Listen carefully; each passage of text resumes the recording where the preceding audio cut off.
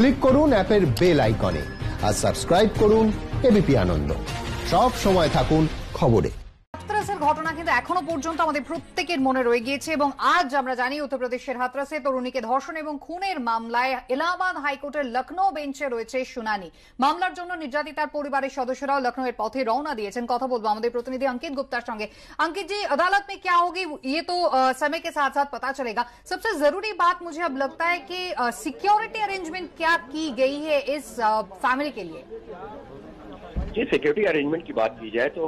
फिलहाल जो सुबह से ही जो वो लोग लखनऊ के लिए निकले हैं, हाथरस से जो पीड़ित परिवार है, उनको पूरे सुरक्षा इंतजामों के तहत लाया जा रहा है और उसकी वजह भी है, क्योंकि हाईकोर्ट ने जो सोमोटो कॉग्निजेंस लिया था, उसके बाद में उसमें साफ़ तौर पर निर्देश दिया था कि उनको पूरी सुरक्षा दी जाए और सुरक्षा के घेरे में ही हाईकोर्ट तक लाया जाए। तो फ़िलहाल हाईकोर्ट के निर्देशों का पालन करते हुए उनको लखनऊ हाईकोर्ट के सामने लाया जाएगा और उसके बाद में दोपहर सवा दो बजे सुनवाई होगी। आज की सुनवाई इस वजह से महत्वपूर्ण है, जिस क्योंकि यहाँ पर जो प्रशासनिक अधिकारी हैं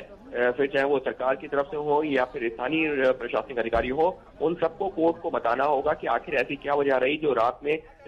ढाई बजे अंतिम संस्कार करना पड़ा। और उसके साथ ही पीड़ित परिवार का भी बयान होगा, उनको बताना होगा कि क्या उनकी मर्ज़ी से हुआ था या नहीं हुआ था, क्योंकि प्रशासन लगातार यही कहता रहा है कि जो पीड़ित परिवार है, उसकी मर्ज़ी से ही रात में अंतिम संस्कार किया गया था, जिससे कि वहाँ गाँव के हालात न बिगड़े। तो इस तरीके की दलीलें दोनों पक्षों की तरफ़ से दी गई हैं, लेकिन कोर्ट में जो है, ये सुनवाई सवा दो बजे शुरू होगी, जब पता चलेगा कि आखिर सरकार और प्रशासन का क्या कहना है, और वहीं पीड़ित परिवार ने अपना क्या पक्ष कोर्ट के सामने रखा।